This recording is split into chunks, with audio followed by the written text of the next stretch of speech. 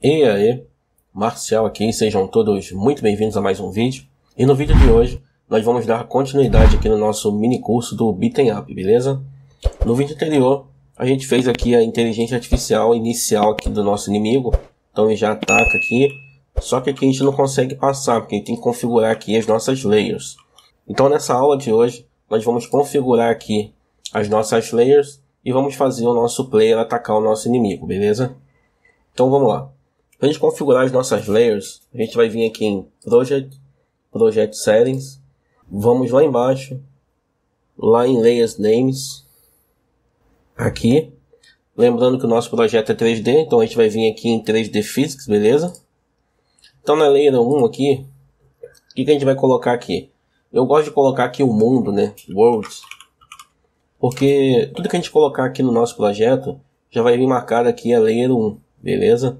Então se a gente colocar aqui o player na Layer 1, se a gente for adicionar qualquer outra coisa aqui, uma caixa, adicionar aqui um, sei lá, uma, uma lata de lixo, ele vai vir na Layer 1 também, na mesma Layer do player, então a gente vai ter que trocar. Então eu gosto de deixar aqui o mundo na Layer 1, que aí tudo que eu colocar aqui depois, ele vai simplesmente já estar tá na layer do mundo. E o player, como o player só tem um, então a gente vai colocar na layer 2 e vai alterar a layer dele uma vez só, beleza? Então player vai ficar aqui na layer 2. Na layer 3 eu vou colocar o inimigo, enemy. E a gente poderia colocar aqui o galeto, né? No caso, tudo que a gente vai pegar, né? O pickup, aqui na layer 3, mas não tem necessidade. A gente pode fazer simplesmente a nossa máscara para ele interagir com o nosso player. Ou seja, um node aqui ele não precisa ter uma layer para poder interagir com o nosso player ou com o nosso inimigo. A gente vai ver isso daqui a pouquinho. Então eu vou criar apenas três layers aqui. A primeira world, a segunda player e a terceira do inimigo, beleza? Vou fechar. E agora eu vou configurar aqui as nossas layers. Eu vou abrir aqui o Node mesmo, porque se eu configurar aqui, ele vai estar configurado em tudo. Então eu vou vir aqui ó, em colisão, em collision object, eu vou tirar aqui da layer 1, a gente pode ver aqui também, ó, a layer 1 é do mundo. E vou colocar aqui ó, na layer do player, beleza? E aqui o nosso player ele vai mascarar aqui com a layer do mundo. Show de bola. Mascarar significa que ele vai interagir com essa layer aqui. Vou salvar. Vamos abrir aqui o nosso inimigo. Então o nosso inimigo aqui, aqui em layer, na colisão, eu vou tirar aqui a layer dele do mundo e vou colocar aqui do inimigo, mas ele também vai mascarar aqui com a layer do mundo. Isso significa que ele não vai passar do chão, ou se tiver uma parede ou uma caixa, ele também não vai passar, beleza? Vamos salvar aqui. Vamos dar um play aqui no nosso projeto e vamos ver se o nosso player já passa aqui por dentro aqui do nosso inimigo. Então aqui, ó, ele já passa por dentro, exatamente como é o beaten up, e ele interage aqui com o nosso chão, beleza? Então agora tá show de bola nossos inimigos ali, eles também não atravessam um ou outro, tá vendo? Eles só interagem ali com o mundo. Show. Vamos fechar aqui. Então agora a gente vai fazer com que o nosso player ataque o nosso inimigo. Eu vou tirar aqui alguns inimigos aqui, vai ficar mais fácil da gente fazer o teste. Então vou selecionar esses três últimos que foram adicionados na aula anterior. Vou apagar. Beleza. Vou salvar aqui e vamos configurar aqui o nosso ataque. O nosso ataque, para ficar mais simples e mais fácil de fazer, eu vou criar aqui uma nova cena que vai ser o nosso ataque. Então, quando a gente der o ataque, na verdade a gente vai estar instanciando o ataque na nossa cena, beleza? Então, vamos lá. O nosso ataque aqui, ele vai conter uma área, então vamos adicionar aqui, ó, uma área normal. Eu vou chamar aqui de player attack. Beleza. Vai ter uma colisão, né? Um collision shape. Aonde vai ser aqui um, um box. Beleza. E vou adicionar aqui também um timer. Então ele vai ter esses três nodes aqui. Beleza. Aqui a minha colisão. Aqui no box shape. Aqui ó, no X eu vou colocar 0.25. Beleza. Aqui no Y vai ser 0.1 e aqui no Z 0.2. Beleza? Então vai ser assim, ó, como se fosse o ataque. Um retângulozinho aqui para frente. Vamos salvar. vou criar aqui em, em prefabs, eu vou criar uma pasta aqui com o nome de player e vou colocar aqui o nosso player attack, beleza? Depois eu jogo o player para lá. E vou criar aqui um script para esse cara aqui. Vou adicionar um script. Vou ir lá na nossa pasta de scripts. Aqui em player. E vou chamar de player attack mesmo. Beleza, vou dar um create. Show de bola. Então aqui nós vamos ter que ter dois parâmetros aqui, no caso duas variáveis. A primeira é para saber qual é o nosso ataque. Então vou criar aqui um var index que vai receber aqui. Pode começar aqui como zero, beleza?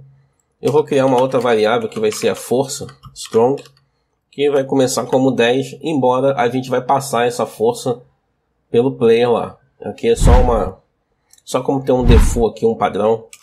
Show de bola. Agora aqui eu vou ter dois sinais. Então eu vou vir aqui ó, no player ataque. Vou vir aqui em note, sinal. E no caso vai ser o nosso body enter. Beleza? Vou mandar conectar. Eu vou colocar aqui ó, player ataque. Body enter. Conectar. Então aqui se ele conectar, eu vou simplesmente vou chamar lá o nosso body ponto take damage. Essa função tem que estar tá lá no nosso inimigo, ela não está criada, eu vou criar ela lá. Então eu vou passar aqui o index e depois eu vou passar aqui a nossa força aqui, né? O strong, que vai ser o dano que a gente vai dar lá no nosso inimigo. Vou salvar. Eu vou, antes de eu criar essa função lá no inimigo, eu vou criar aqui também o nosso timer. Então o nosso timer aqui, a gente vai conectar aqui esse sinal, timeout. Então vou colocar aqui timeout, conectar. E aqui, simplesmente, quando acabar o nosso tempo, eu vou dar um kill free. Beleza? Vamos configurar aqui o timer, né? Vamos selecionar ele. Vim aqui. Ele vai ter um, um tempo de 0.2. Ele vai ser um shot e ele vai auto-startar. Então, assim que o nosso ataque aparecer, ele vai contar 0.2 segundos e vai ser auto-destruído. Show de bola. Agora vamos configurar lá o nosso player. Então aqui no nosso player, a gente tem que ter uma referência lá do nosso ataque. A gente pode criar aqui uma constante, dar um nome de ataque, que vai ser aqui o nosso preload. Deixa eu ver se eu consigo pegar aqui ataque. Aqui ó, player ataque por Febs, player ataque, beleza? Vai ser esse cara aqui. E eu vou criar uma função aqui embaixo que vai ser o nosso funk player attack. Repare que eu não coloquei aqui o underline, porque ela vai ser chamada de fora. Quem vai chamar essa função aqui vai ser a nossa animação. Então aqui, aqui eu vou pedir o nosso ataque index. No caso pode ser o damage underline index, que vai ser o inteiro. E também eu vou pedir aqui o nosso damage em si, que vai ser o dano em si, né, que a gente vai dar no inimigo, que também vai ser o inteiro não vai retornar nada, beleza? Então a gente vai criar uma variável aqui de referência lá do nosso ataque, né? A gente vai criar uma instância, então vou criar aqui var attk de ataque, vai receber aqui o nosso ataque ponto beleza? Vou subir aqui um pouquinho para facilitar. Beleza. A outra coisa é a gente informar qual é o index, né? Então, attk ponto index vai receber o nosso damage index. Show de bola. E o outro é formar o nosso, a nossa força lá no nosso ataque.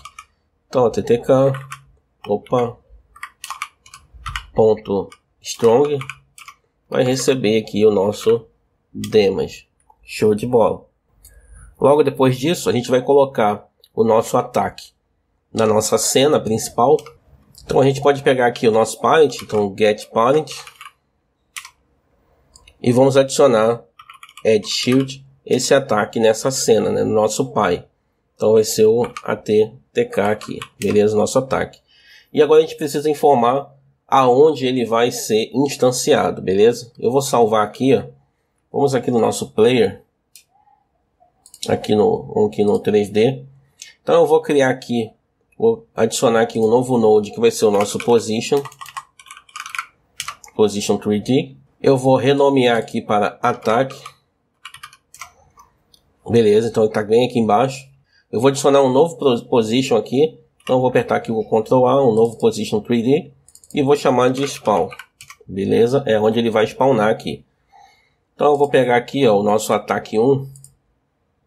Vou aumentar aqui um pouquinho. Então tá bem aqui, ó. Então eu vou pegar aqui o spawn e vou colocar ele aqui, ó, mais ou menos na mão dela, que é aqui onde vai sair aqui o nosso ataque, beleza? Eu posso até vir aqui no transform, acertar aqui, eu falo que é 1.1 e aqui eu posso colocar que é 6. Beleza. Então aqui vai ser o nosso ataque. Todos os ataques vão sair mais ou menos aqui, beleza? Vamos salvar. Vamos voltar lá no nosso script. Então aqui agora a gente tem que colocar a posição do nosso ataque naquela posição do nosso spawn lá. Então eu vou falar aqui que o nosso ataque attk ponto transform ponto origin vai receber o nosso get node. No caso ali vai ser o nosso ataque spawn ponto global transform ponto origin, beleza? Bem simples, bem tranquilo. E agora aqui, ó, no nosso ataque, vamos voltar aqui no 3D. Então aqui, ó, realmente é o nosso ataque. Eu vou adicionar aqui um novo track. Vou chamar aqui uma função. A função está aqui no nosso player. Vou entrar aqui um pouquinho. E aqui, ó, botão direito, inserir aqui e aqui vai ser o player attack. Ele pede aqui dois inteiros. Então eu vou clicar aqui. Então aqui argumento ele pede dois. O primeiro é o index, então vai ser pode ser zero aqui ou pode ser um. Vou fazer o seguinte, vou colocar um. Então um é como se fosse o primeiro ataque e aqui é o dano que ele vai dar. Ele vai dar 10 de dano esse primeiro ataque aqui. Então agora a gente vai no segundo ataque. Então o segundo é bem aqui, é o segundo, bem no início. Vamos adicionar aqui um Add Track. Vamos chamar uma função aqui no Player. Botão direito. Aqui. E é aqui o nosso Player Attack. Vamos selecionar ele aqui. São dois argumentos. Aqui é uma inteiro. O ataque é 2. E esse ataque vai valer 15. Show de bola. Vamos agora para o terceiro. O terceiro é aqui que ele dá o ataque. Então vamos adicionar aqui um track, um call método tá no player e vamos chamar aqui o nosso método ataque, beleza? Vamos selecionar, são dois argumentos, aqui, esse aqui é o terceiro, e aqui ele vai valer 20. Então, por isso que eu falei que isso aqui seria um mini curso, que vocês estão aprendendo agora uma forma bem interessante de dar o ataque, aonde cada ataque ele tem um dano diferente. Então vocês podem colocar o primeiro ataque o segundo para ter o mesmo dano, o terceiro um dano maior, beleza? Então vamos salvar aqui. Vamos voltar aqui no nosso script. Então aqui está tudo certinho. Essa função vai ser chamada aqui no nosso ataque, beleza? É, e vamos criar lá no nosso inimigo né, a função take damage, beleza? Então vou vir aqui, eu vou criar essa função take damage aqui embaixo do movimento. Função take damage. A take damage ela pede dois argumentos, lembram? Vou chamar aqui o damage index, que vai ser o inteiro, e o dano em si, que também vai ser o inteiro. Essa função não vai retornar nada. A única coisa que eu vou fazer aqui vai ser verificar se ele é, se ele não está morto, né? Se, ou seja, se ele estiver morto, ele vai retornar aqui e não vai fazer mais nada. Então, se ele não estiver morto, o que, que eu vou fazer aqui? Eu não vou colocar as animações hoje aqui no nosso inimigo, mas a gente já vai ver ele aqui morrendo e ele recebendo dano. Então eu vou pegar aqui o HP dele. Deixa eu ver se eu criei aqui. Não. Eu vou criar aqui ó, uma, uma variável de vida. Vou chamar aqui health, que vai ser 100 como padrão. Vai ser aqui 100 como padrão, beleza? Então o que, que eu vou fazer aqui? Ó? Eu vou falar que o health, o HP dele, vai receber o máximo max entre 0 e o HP menos o dano ali. Beleza? O que, que essa função aqui faz? essa função ela vai exibir o máximo entre dois valores aqui, beleza? É quase como se fosse o clamp, só que o clamp eu teria que fazer em duas linhas, né? eu teria que fazer aqui o HP, né, o health menos igual a damage, e depois eu teria que fazer o health, clamp. Isso aqui acontece por causa de quê? Vamos supor que o HP do inimigo ele é 5. Beleza? Ele tá com 5 ali quase morrendo. E se o player der um, um ataque nele de 20, então ele vai ficar menos 15. E isso vai ficar ruim para a gente poder colocar isso na nossa HUD depois. Então desse jeito aqui, o HP dele sempre vai ser 0 ou alguma coisa. Então o máximo aqui é o que? O HP dele é 100. Se ele levar um dano de 15, então o máximo entre 0 e no caso aqui 100 menos 15 vai dar 85, o máximo vai ser 85, então o HP vai ser 85. Se ele levar um dano de 10, então 85 menos 10 vai ser 75. Então o máximo aqui entre 0 e 75 vai ser 75, beleza? Então dessa forma aqui ele vai sempre mostrar o máximo. E se por acaso chegar no zero, se for um, um valor negativo ali, menos 15, o mínimo ali vai ser zero. Beleza? Espero que eu tenha explicado aí de uma forma bem interessante para vocês entenderem. Então, show de bola. Então, o que, que eu vou fazer aqui? Vou verificar se o HP, se o health, for men é menor ou igual a zero. Beleza? Então, se for menor ou igual a zero, eu vou chamar a função aqui def. Eu vou criar essa função aqui embaixo. Que por enquanto ela não vai retornar nada. E por enquanto ela só vai dar um kill free aqui. Só vai ser destruído. E para vocês verem aqui o HP descendo, eu vou dar um print health aqui, beleza? Vamos salvar. Vamos voltar aqui ó, no player attack e vamos configurar a colisão dele. Então aqui ó, na colisão do player attack ele não vai ter nenhuma layer, mas ele vai interagir com o nosso inimigo que é o 3 aqui. Ó. A gente vai tirar ele do mundo e vamos interagir aqui com o nosso inimigo. Dessa forma aqui, a gente não precisa aqui no player attack verificar se o nosso inimigo está no grupo, se o nosso inimigo tem aquele nome, porque aquela essa layer aqui, esse ataque só vai interagir com a layer do inimigo, beleza? Então se você por acaso fizer alguma caixa, é só você colocar essa caixa na layer do inimigo, que essa caixa vai levar dano. Então vamos salvar aqui, vamos testar, vamos dar um play. Então o primeiro dano aqui vai dar 10, então se eu atacar aqui ele, ó, 90, beleza? Se eu atacar duas vezes, né, então ele vai dar 10 com mais 15 ali, vai arrancar 25, vai ficar com 65. Então acertou. Deixa eu vir pra cá. Ó, 65. E agora se eu der um hit de 3, ele vai ficar com 30, né? Que no caso vai ser 10 no primeiro, com mais 15, 25.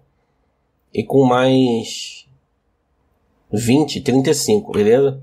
Então vamos vir aqui, ó. Ah, não, não acertou o terceiro. O, o ruim é que ele não tá levando, quando ele leva dano, né? Ele não para, né? A gente vai fazer isso no próxima aula. Então fica ruim de acertar aqui os danos, que ele continua andando. A gente podia pelo menos fazer ele parar ali para ficar mais fácil. A gente vai fazer isso aqui no primeiro. Ó, ele morreu. Então ali o HP dele é 90, 80, 65, 55, 40, 30, 20, 5. Quando chegou a zero ali, ele morreu. Vou colocar aqui mais inimigos aqui colocar só mais um. Beleza, só mais um inimigo aqui. Vamos dar um play. Então vamos lá. Vamos ver se a gente consegue matar esse cara aqui, ó. Ó, com 55. Ó, já morreu aquele ali, que ele ficou mais parado. Isso aqui também. Já tá indo. Opa. Depois a gente vai configurar aqui para deixar mais fino aqui, né? O, o, Depois a gente vai refinar melhor aqui a colisão, que parece que ela não está muito legal, mas aqui já deu para vocês terem uma ideia de como vai funcionar, beleza? Então no, na aula de hoje a gente configurou aqui a nossa layer e configuramos aqui o ataque do nosso player. Fizemos aqui o ataque, né, que ele vai spawnar na cena. Aqui no nosso, no nosso ataque a gente colocou aqui assim que o ataque entrar com a lei do inimigo, ele vai dar o dano. E depois de 0.2 segundos, ele vai dar um kill free. O nosso inimigo aqui, a gente criou aqui o take damage, aonde ele ele vai tomando dano aqui, e se chegar a zero ele vai ser destruído.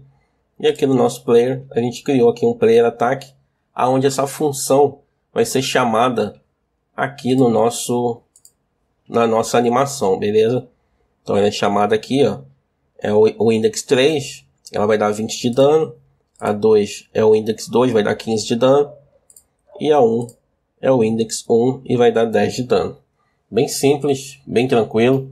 Então na aula de hoje é só isso. Eu espero que vocês tenham gostado. Se você gostou aí, deixa aquele like, comenta aí para mim saber se você gostou ou não. E se você ainda não é inscrito, né, deixa aquele like aí, se inscreve aí no canal e ativa aí o sininho de notificação para você não perder nenhum vídeo, beleza? Então é isso. Fiquem todos com Deus. Um grande abraço e até o próximo vídeo. Fui!